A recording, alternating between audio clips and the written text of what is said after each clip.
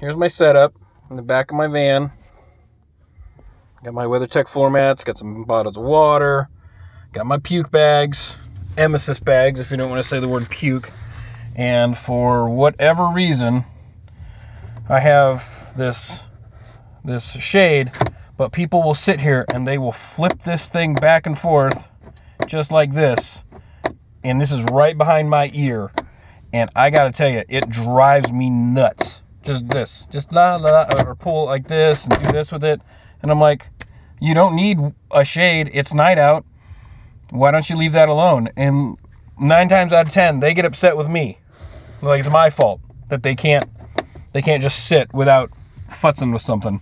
So I've decided that if they do that, I've just bought this. And yeah, it's been six bucks, but and I drop it.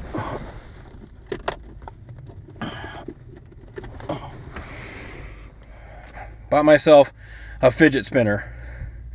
So next time someone starts playing with my window shade, I'm going to hand them that fidget spinner and go, here, play with that instead.